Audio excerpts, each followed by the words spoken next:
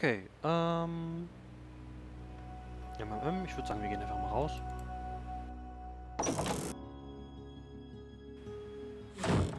Guten Morgen, Welt und alle, die sie bevölkern. Wo ist deine Stelle? Styles will, dass ich meine Handynummer hinterlasse. Ich sollte darüber mit Mrs. Dalton reden, bevor ich gehe. Oh, das habe ich vergessen. Verzeihung. Das war der Tatendrang. Küche.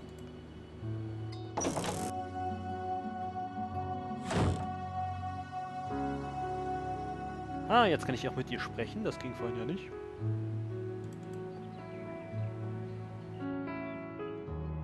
Ich habe ein Problem. Ähm, Dr. Styles will, dass ich Ihnen meine Handynummer gebe. Aber ich habe gar kein Handy. Ach, nimm meins. Normalerweise ruft sowieso nur meine Schwester an. Und sie ist gerade im Urlaub. Wirklich? Danke. Ich hatte zwar eins, aber das hat mir doch tatsächlich ein Eichhörnchen weggeschnappt. Echt übel. Das können ganz schöne Quellgeister sein, nicht wahr? Also ich gehe jetzt eigentlich nur so glatt durch. Ne? Was war das nochmal? Ach, das war die Karte, genau. Wir können auch einfach springen, statt immer nur zu den Ausgängen zu gehen. Was ich sagen wollte... Nicht ins Mikro pusten. Nein, das wollte ich nicht sagen. Ähm, wir gehen auf den traditionellen Weg raus, um Zeit zu sparen. Also um Zeit zu schaffen, damit ich etwas sagen kann. Eigentlich ist es bei diesem Spiel so, ähm, dass man bestimmte Dinge anklicken muss, wie etwa hier der Brief, damit es weitergeht, damit man mit ihr sprechen konnte. Das ist ein kleiner Nachteil an dem Spiel. Ähm, aber wer sowieso gerne sucht und alles mitnehmen will, für den wird das kein Problem sein. Ich bin ohnehin der Meinung, es ist schwer, dieses das, was dieses Spiel so toll macht, die Atmosphäre zu erfassen in einem Let's Play. Ich habe es damals auch in einem Let's Play gesehen, was mich letzten Endes dazu bewegt hat, es zu spielen, selbst zu kaufen und zu spielen. Und ich habe es nie bereut. Deswegen mache ich das. Ich will euch dazu bewegen, dieses Spiel zu spielen. Oder wenigstens Leute davon zu, Leuten davon zu erzählen. Ja, ich mache Werbung. Stellt euch vor. Aber ich bin nicht gekauft. Ich habe euch eben Kritikpunkt verraten.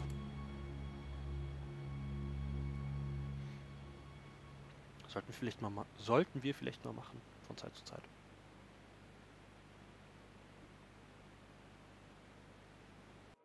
Das ist also Oxford. Nicht schlecht. Ich muss genügend Studenten für das Experiment zusammenkriegen. Aber wenn ich schon mal hier bin, kann ich mich auch ein bisschen umsehen. Vielleicht finde ich ja hier in Oxford irgendwas, das mit dem Daedalus Club zu tun hat.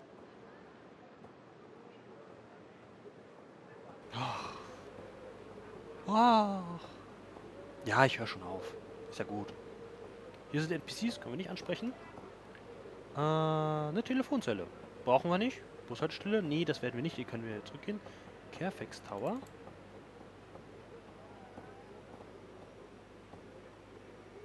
Interessant.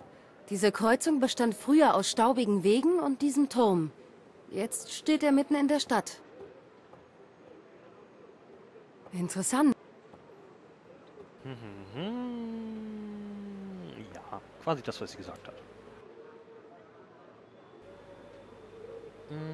Na, Telefonzelle? Im Moment gibt es keinen Grund, die Telefonzelle zu benutzen. Am Ende kommt noch Dr. Who. Das wollen wir ja nicht.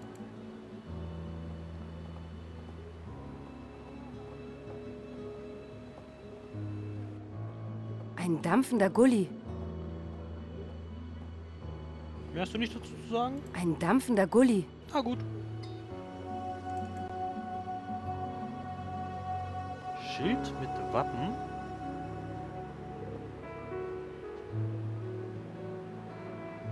Arkham! Arkham! Wappen. Okay, Wappen. Nein? Jedes College hat sein eigenes Wappen. Wirklich stilvoll. Jesus College. Naja. Gut. Sie hat gesagt, wir wären in St. Edmund, St. Edmund Hall. Mhm. gehen wir mal Queen Street oder Corn Market Street. Wir arbeiten, wir arbeiten uns hoch vom, vom Markt zu Queen.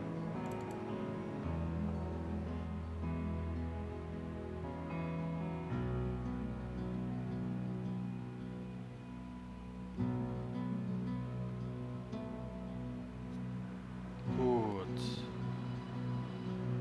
Dampfender Gully. Haben wir noch einen? Sagt sie da was anderes? Ein dampfender Gully. Nein. Okay, das hier ist nicht Edna bricht aus. Ähm, The Black Wand hat nichts mit diesem Sexspielzeug zu tun.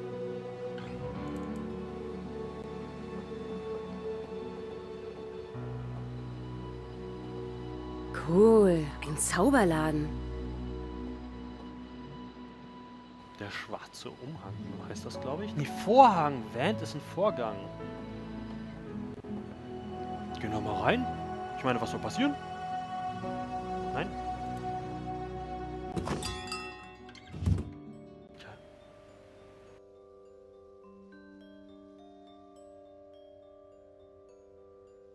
Hier haben wir schon wieder dieses orangene Blaue. Das fällt mir jetzt erst auf. Und ich habe das Spiel schon zweimal durch, also... Ich werde übrigens nicht alle Lösungen können. Weil manche sind doch speziell und man kann sie vergessen. Aber egal. Houdinis Porträt, also der sieht nicht aus wie ein Hase.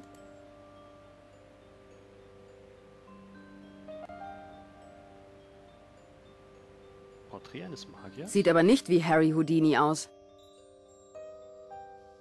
Sieht aber nicht...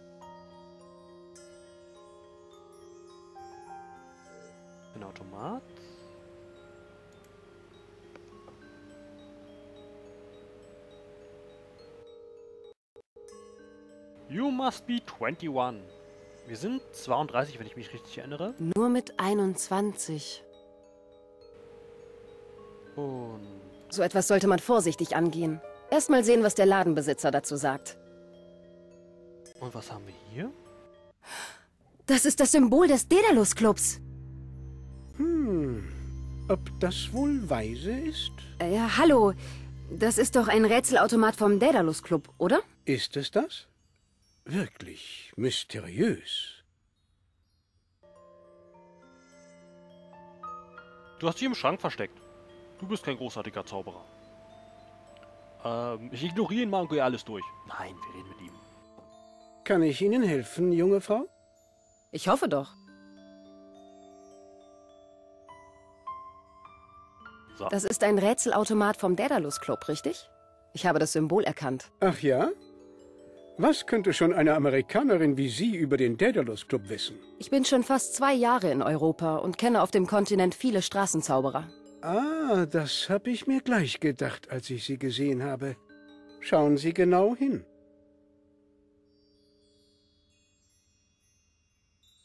Wo ist der Ball?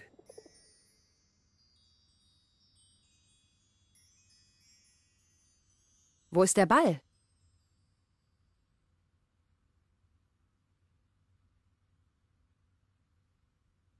Sehr gut, meine Liebe. Mein Name lautet Mephistopheles. Und wie heißen Sie? Samantha Everett. Sam. Aber mein Künstlername ist Lady Byron. Nein, noch nie gehört. Nun ja, ich bin noch nicht lange in England. Du hast noch nie von Ada Lovelace gehört? Also wegen des Daedalus-Clubs. Ich weiß, dass Sie in London einen Dinnerclub haben. Sind Sie auch hier in Oxford? Gehört Ihnen vielleicht sogar dieser Laden? Wie zur Zeit der Römer sind wir hier nur so etwas wie ein kleiner Außenposten und haben mit der Sache selbst nicht viel zu tun. Ich habe gehört, dass Sie öffentliche Spiele, Rätsel und Schnitzeljagden veranstalten. Gehört dieser Rätselautomat auch dazu? Vielleicht stellen Sie ja solche Dinger gerne an geeigneten Plätzen auf. Vielleicht.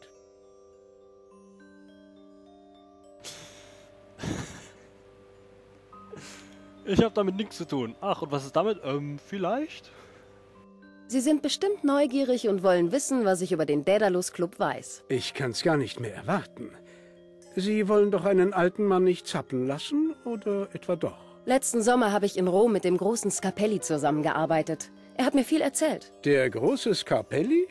Rote Haare und Knoblauchfahne? Der alte Gauner, der am liebsten Tricks mit Hühnern vorführt? Ja, das ist er. Er hat wirklich Talent. Oh, das weiß ich. Er hat gesagt, dass der Daedalus Club der geheimste Club für Magier und Illusionisten auf der ganzen Welt ist. Alle großen Meister sollen dort Mitglied sein. Ach, wirklich? Und welche exklusiven Informationen hat er noch preisgegeben? Wer dem Club beitreten will, muss eine meisterhafte Inszenierung, wie eine überzeugende öffentliche Täuschung oder einen legendären Trick durchziehen. Er selbst arbeitet schon seit Jahren daran, hat sie aber noch nicht perfektioniert. Ah, das kommt leider nicht selten vor. Aber Hauptsache, man hat mal angefangen, nicht wahr, Miss Everett? Und eine passende Gelegenheit könnte dieser Rätselautomat sein. Da haben Sie wohl recht. Danke.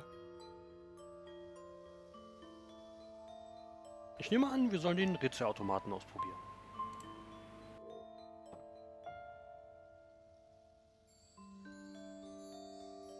Jetzt dürfen wir drücken. Huh, Knöpfchen drücken.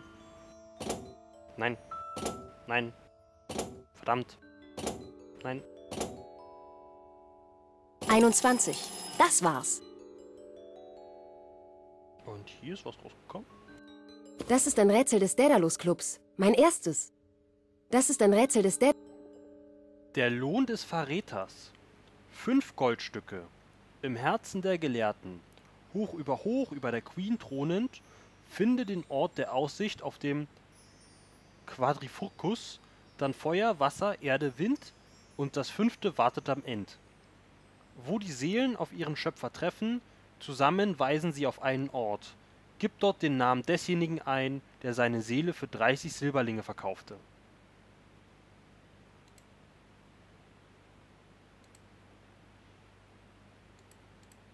Fragen wir nochmal. In dem Rätsel geht es unter anderem um das Herz der Gelehrten. Ist das eine bestimmte Gegend in Oxford? Ich kenne mich hier in der Stadt nicht aus. Ich vermute, damit ist das Herz der Universität gemeint, also die Gegend, in der Sie gerade sind. Aber mit meiner Hilfe dürfen Sie nicht rechnen. Aus mir kriegen Sie nichts raus. Wenn ich Ihnen helfe, woher wollen Sie dann wissen, ob Sie des Spiels überhaupt würdig sind und das Spiel Ihrer? Das kriege ich schon alleine hin. Nichts für ungut. Was passiert, wenn ich das Spiel gewinne? Was passiert? Es gibt nur einen Weg, das herauszufinden. Wir spielen es. Spielen!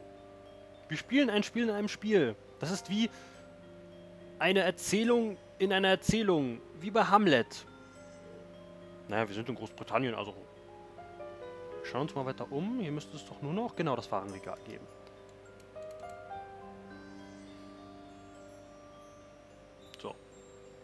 Zerbrechbarer Stab.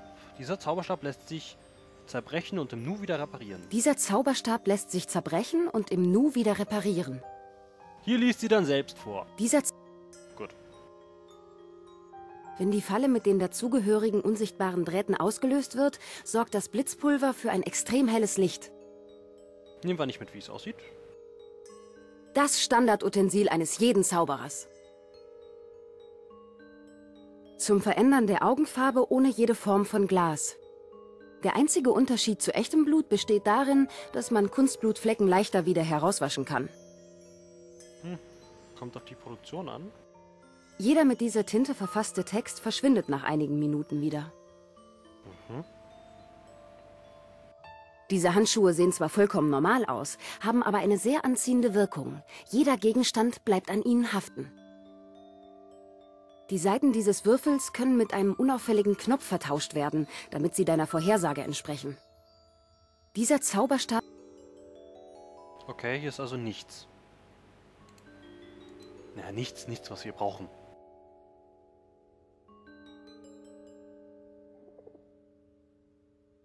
Okay. Hier unten nur Sachen. Der Inhalt dieser Flasche wird fest, wenn er mit Salz in Kontakt kommt. Hm. Wird fest, wenn es mit Salz in Kon- Kontakt kommt. Fällt mir gerade nicht ein, was das sein könnte. Dieses kleine Gerät erzeugt ein entsprechendes Geräusch, wenn man den Knopf auf der dazugehörigen Fernbedienung drückt. Dieses kleine Gerät erzeugt ein entsprechendes Geräusch, wenn man den Knopf auf der dazugehörigen Fernbedienung drückt. Schredder, Hilfe. Okay. Oh, Zum Festmachen von Flügeln, Bärten und anderen Kostümerweiterungen. Hautkleber. Wenn man es gerade nicht sieht. Mit einem kleinen Schalter auf der Rückseite der Schachtel kann man bestimmen, ob der Teufel herausspringt oder nicht. Zum Verändern der Augen. Alles Geld, das in den Münzschlitz dieses Kastens gesteckt wird, verschwindet in einem versteckten Bereich. Man darf aber nicht vergessen, danach das Geld wieder zurückzugeben. Ein gewöhnlicher Magnet. Klassisch. Das Standardutensil. Das Stand. Nein, das hatten wir schon. Äh, haben wir schon? Ein Telefonspion. Funktioniert aber nur bei eingehenden Anrufen. Wenn man diesen Daumen über den eigenen Daumen steckt und mit Hautkleber festmacht, wird er niemandem auffallen.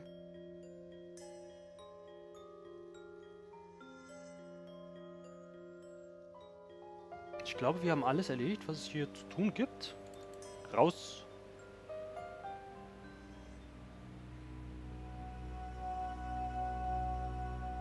Die Ladezeiten werde ich wohl übrigens nicht rausschneiden können.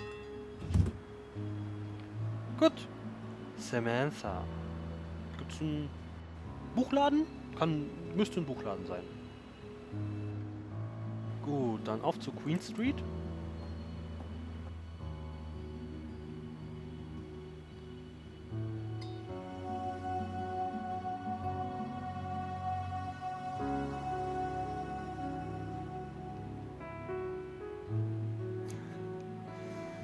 Ach ja.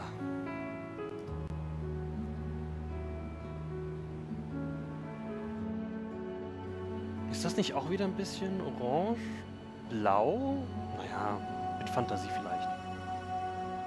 Studenten! Juhu, Studenten, Studenten, Frischfleisch! Die kommen zum Dock. Hey, du hast einen Zettel verloren. Was? Schau mal. Falls du heute Abend noch nichts vorhast, kannst du dir mit diesem Job 15 Pfund pro Stunde dazu verdienen. Jeder Student ist doch knapp bei Kasse, oder? Das ist echt leicht verdientes Geld, mein Freund. Der war gut. Was meinst du? Das ist ein Witz, oder? Ähm, Stichwort Styles, Experiment. Nein, Stichwort 15 Pfund. Was ist denn daran so lustig? Ah, du meinst es wirklich ernst. Wer für ein Freak arbeitet, kann nur selbst ein Freak sein. Schönen Tag noch. Na ganz toll. Scheinbar arbeite ich für Graf Dracula. Verdammt. Du vielleicht?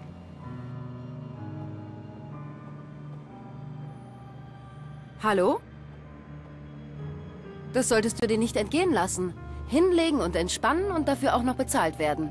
Falls du Lust auf den Job hast, kann ich dich gleich in die Liste eintragen. Dr. Styles, bist du wahnsinnig? Aber du würdest auf der Liste stehen.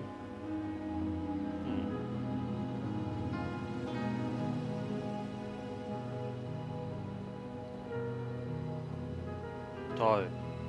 Achso, ich kann schon wieder. Okay, okay, okay. Ich dachte, sie sagt wieder etwas. Dann diesen netten Herrn.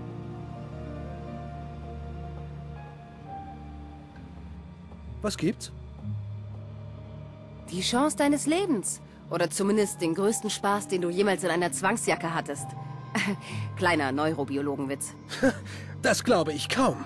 Du wirst niemanden finden, der dumm genug ist und sich auf ein Experiment mit Styles einlässt. Das garantiere ich dir.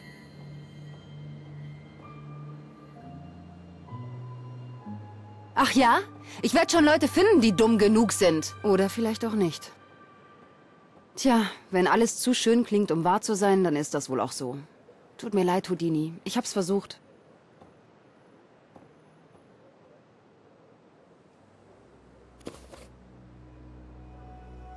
Willkommensparty für Erstsemester auf dem Campus von St. Edmund Hall. Das ist heute Frischfleisch. Ein Hoffnungsschimmer. Nach drei Absagen in Folge ein Hoffnungsschimmer. Wir haben gesehen, ein neuer Ort wurde hinzugefügt. Aber da werden wir erst in der nächsten Aufnahme hingehen.